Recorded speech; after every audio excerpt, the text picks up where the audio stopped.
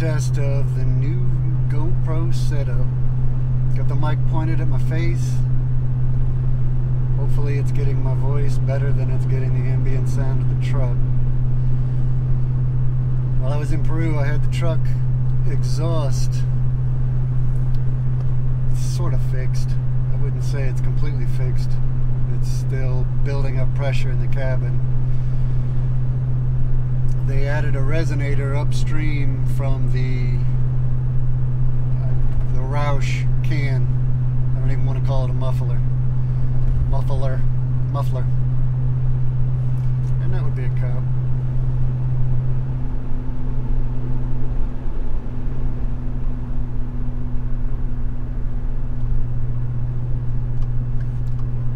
We'll see how this goes. Maybe he doesn't like the GoPro soaking up all the view there. Maybe it's not a cop.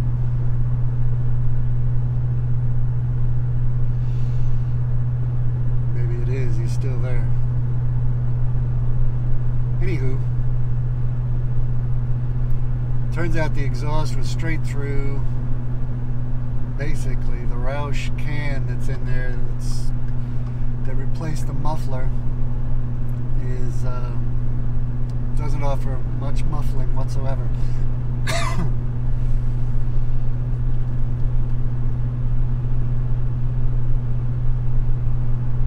One of Heidi's friends, Dennis, recommended going to the Ford dealership. Luckily, the Ford dealership was pat was booked up, couldn't see me.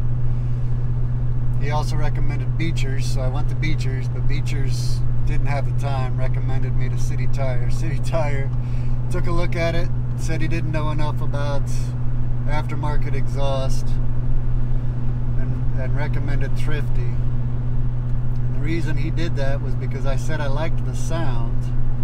I just wanted to tone it down a bit. I didn't necessarily want the Ford muffler, but I would have done it had they had time. I would have put the, the stock muffler back on it but I'm actually glad that they were booked up. This way I have nice sounding exhaust, toned down a little bit by the resonator. So the resonator, from what I read, shapes the exhaust gases, kind of deflects them a little bit before they hit the can, the Roush can. And then the Roush can does some, probably does some resonating as well, but that's about it. And Brian at at Thrifty said that the, the resonator was basically a glass pack. So, fiberglass packed pipe. I saw it, it had some 45 degree bends of what looked like chicken wire inside to help kind of deflect and create turbulence in the gas. So, kind of cool. He did it quickly, he did it in about a half an hour, and then I asked him also to remove the fifth wheel kit that's on that was on the truck, the fifth wheel kit previous owner had. He took off the receiver, the hitch receiver,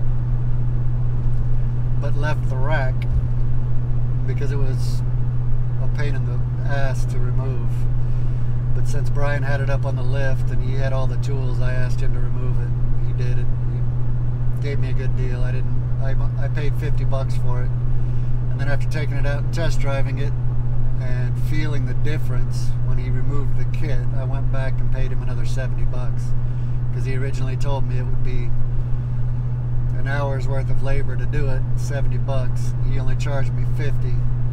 So I took him a $20 tip because the the removal of that thing makes the handling much better. It was just I didn't realize what it was, but I'm presuming that because the back end was so stiff because of that those crossbars. There were two crossbars that were attached down to the frame of the body on either side of the wheel. I'm sorry.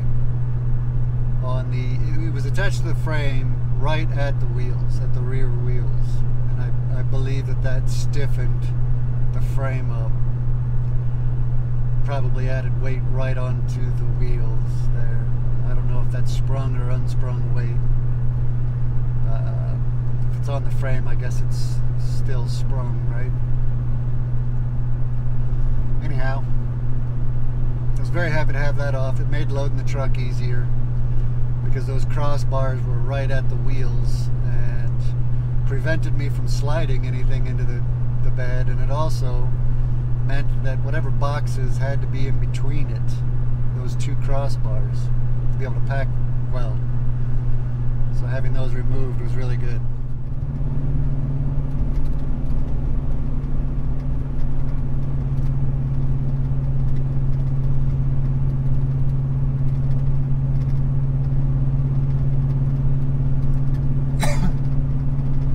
cool looking bridge. This is definitely not the bridge that my mother used to bring us on. So when I was a kid, we used to drive into Kentucky to go see family. We crossed over the Ohio River, there were a lot of exchanges on the highway um, exits, on ramps, lane changes. So she would always tell all of us kids, I have two sisters, so there would be th three kids in the car. She'd tell us all to get in our corners.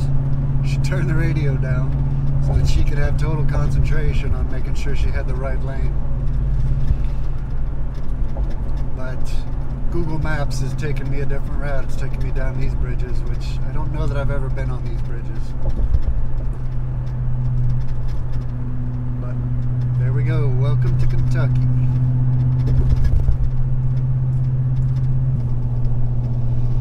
Home stretch. Just stopped at the at the grocery store, picked up hot dogs and hamburgers and stuff to grill out for dinner. I'm on 127 south. It's about 17 degrees Celsius out, which is high 60s. Very comfortable, and uh, it's been a quick, quick drive. Uh, it's been about five and a half hours. I left around noon. I left a little bit earlier than that, but I had a stop to make. I am now in Danville, Kentucky. And looking forward to visiting family, even for a short bit. Not a lot of color in the trees here. Less so than Indiana, but it's warmer. So the trees are going to turn color later. May at a, maybe at a lesser degree as well. But fall is here, without a doubt.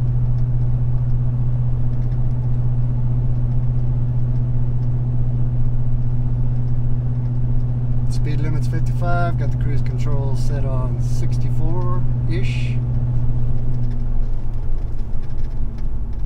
Fueled up some gas earlier, paid 349 for it. looks like it's three and a quarter here. It's much cheaper than up north in Indiana, that's for sure.